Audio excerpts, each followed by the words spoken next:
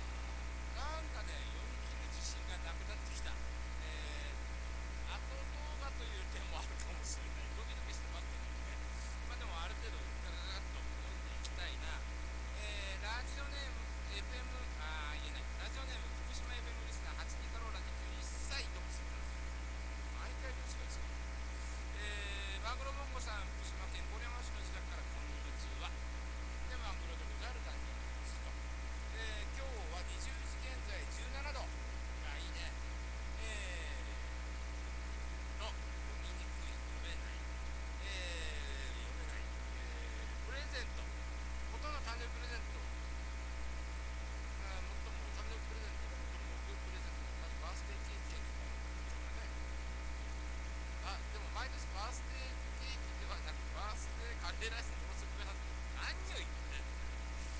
とにかくしょうがないねえー、あプレゼント希望ねはいわかりましたじゃあまたこれも4つを見て買うもう当たるといいね誰に行くのかなえー、